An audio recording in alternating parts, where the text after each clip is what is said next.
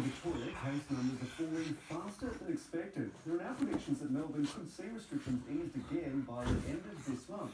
There were 45 new cases and five more deaths, taking the state's coronavirus death toll to 750. It's the eighth consecutive day Victoria has recorded fewer than 50 new cases, but it is an increase on yesterday's tally of 28. Today, the 14-day case average is down to 42.7. That's down from yesterday's 44.4, that's well below the predicted 14-day case average of 63. And these are encouraging figures. The next step on Melbourne's roadmap to easing restrictions will happen after September the 28th. That's Monday week if the 14-day average stays between 30 and 50.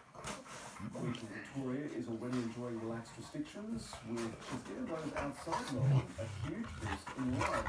People have been able to venture out to pubs, cafes, and restaurants, a long way to catch up with their friends and loved.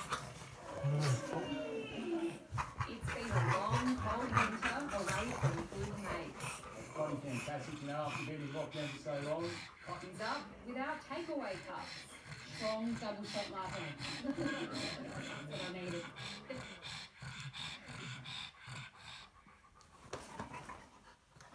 Mm.